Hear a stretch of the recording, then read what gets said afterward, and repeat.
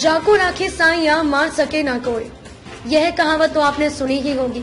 दो साल की बच्ची बारहवीं मंजिल से गिरी और बच गई। घटना वियतनाम के हनोई शहर की है।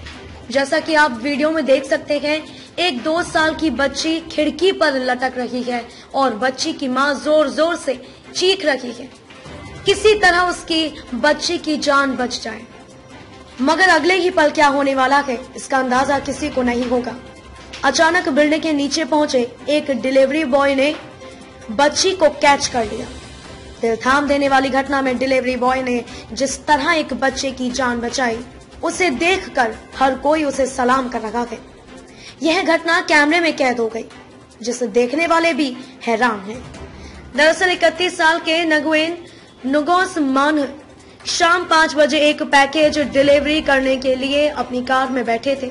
तभी उन्होंने देखा कि एक बच्ची बारहवीं मंजिल पर लटकी हुई है और चिल्ला रही है और एक महिला भी चिल्ला रही है और खिड़की के बाहर गर्दन निकाल कर देख रही है। उन्हें पहले लगा कि शायद बच्ची कोई बदमाशी कर रही है, मगर फिर उन्होंने देखा कि बच्ची नीचे गिर रही है। इसके बाद तुरंत वह बच्ची को बचाने के लिए दौड़ पड़े। ताकि गिरती बच्ची को बचाया जा सके। हालाँकि वह बच्ची को कैच कर बचाने में सफल रहे। Public news desk. देश और दुनिया की खबरों के लिए जुड़े रहिए पब्लिक न्यूज़ के साथ।